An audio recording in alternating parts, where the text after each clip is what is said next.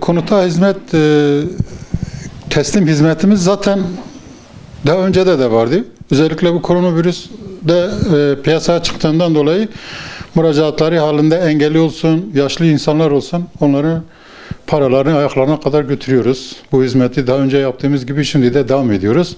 Bunu yapmakla da vatandaşımıza hizmetten dolayı gurur duyuyoruz. E, Adlarına gelen kolileri olsun, tüm hizmetleri ayağına kadar götürüyoruz.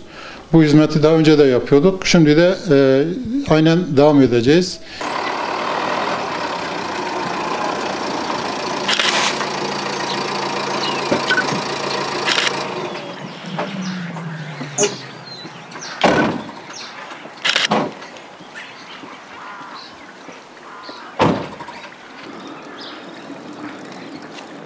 Aleykümselam.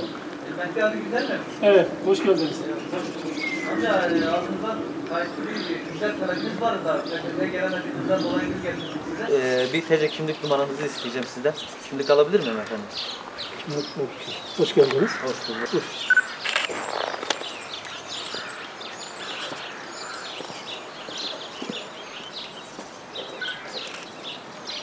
Şöyle teşekkür ederiz bu imkanı. Vay, Şöyle Mehdi Bey şuraya bir imza alabilir miyim? Tamam. Teşekkür ederim. Talep ettiğimiz ücreti gelemediğinizden dolayı getirdik. Teşekkür ederim. birlikte. Tamam, teşekkür ederim. Kendilerine e, bunların herhangi bir belli ay zamanları var.